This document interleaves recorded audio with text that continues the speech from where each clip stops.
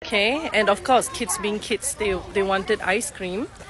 And um, my aunt went to buy ice cream, and you know what he said? He doesn't sell ice creams to Indians.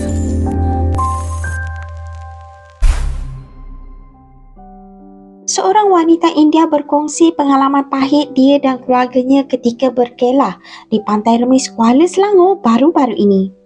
Melalui rakaman video yang dikongsikan di akaun TikToknya, dia mendakwa seorang peniaga aiskrim di situ enggan menjual kepada anak saudaranya kerana trauma pernah diserang individu mabuk.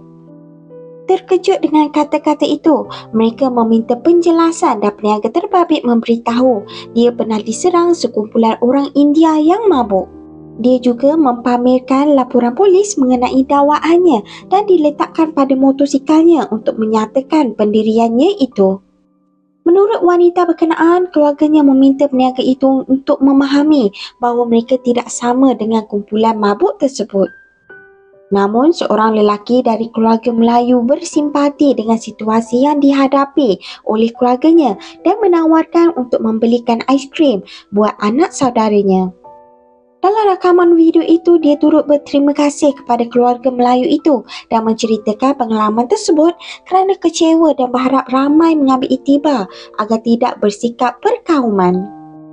Bagaimanapun menerusi hantaran yang berasingan, dia memaklumkan isu terbabit sudah selesai selepas peniaga aiskrim tersebut membuat permohonan maaf. So, hi guys. Um, I came with my family to the beach at uh, Pantai Remis.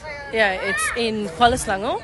And let me show you my family and what who who all of us are. There's a reason to that. So as you can see, it's my family and we have a few small children there. Like in the age of three, four. Yeah, those are the small kids. And there's this ice cream man here, okay? And of course, kids being kids, they, they wanted ice cream. And um, my aunt went to buy ice cream, and you know what he said? He doesn't sell ice creams to Indians. And we were shocked, of course, and we asked him why. And apparently, he has stuck a police report on his ice cream stand. I'll attach that police report in a while.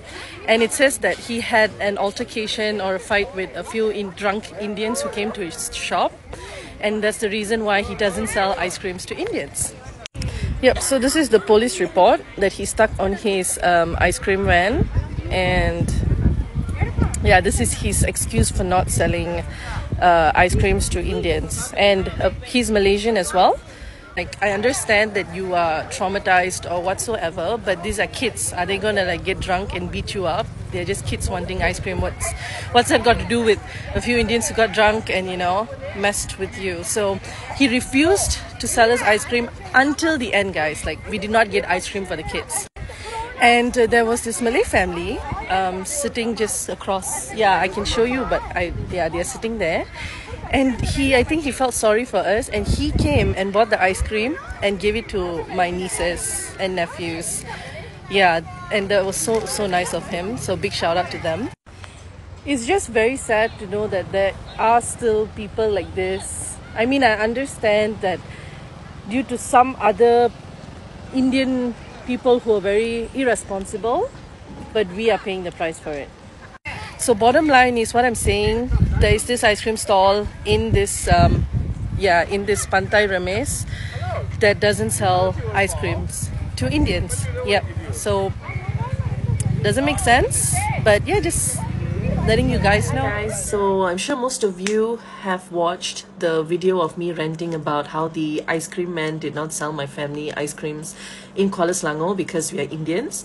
And uh, thank you so much uh, for this comment. And yes, I do acknowledge that most Malaysians are not like this, but it's sad that we do still do have Malaysians that have this mentality.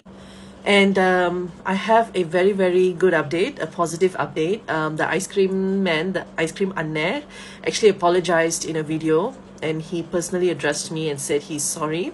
And I fully accept that apology. So thank you very much, Anner, for apologizing and I am going to post the apology video um, for all of you to see and I hope um, you know this will be a lesson to everybody you know out there who owns a business please kindly, a humble request, put aside racism, racist remarks, stereotypes when you're conducting a business. And that's for the best. அதெல்லாம் புடி புடி பத்தில் வாங்க இனிமேல் கொஞ்சம் இந்த மாதிரி தப்பு நடக்க நான் பார்த்துக்கிறேன் அக்கா என்னை மன்னிச்சிருக்கா இந்த மாதிரி தப்பு நடக்காது நீங்கள் வந்து ஆக்சுவலி இன்னும் வாங்க நான் இப்போ வந்துருக்கா மன்னிச்சிருக்கா betul-betul saya minta maaf kakak sorry kakak jangan marah aja saya aku aku nak minta tolong sama kakak akan isu ni jangan panjangkan kasih pendekkan kak saya nak perlu nak minta maaf. Kalau akan nak datang jumpa saya akan datang jumpa saya. Saya betul-betul minta akan datang macam biasa datang beli GST dekat saya saya boleh jual. Ke lepas ni hal ni kalau apa-apa saya bincang sama abang uh, Sri uh, Sri Kumar ataupun abang Kodi. Dekat dua orang ada polis saya bincang sama dia. kak So yeah, that was the video, and um, as you can see, it was a very very sincere uh, apology. And you know, I am going to go and visit the Anne one of these days, and I am going to go and buy ice cream from him because this is one of, the proudest achievements that I can you know call an achievement. And also, I want to thank um, the MIC members who took the initiative to go and get this solved and um, to make sure this doesn't happen again. So thank you very much. Um, I really, really appreciate that y'all took the effort to actually solve this problem. So yeah, um, that's all from me. So thank you to everybody who commented positively.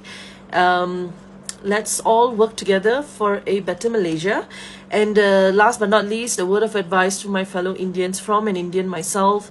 Please, when you go out, uh, you know, be responsible, drink responsibly, uh, take care of the reputation we have. Let's all um, prevent this India marble um, slang and this thing that goes around. Let's all work together towards a better and more harmonious Malaysia.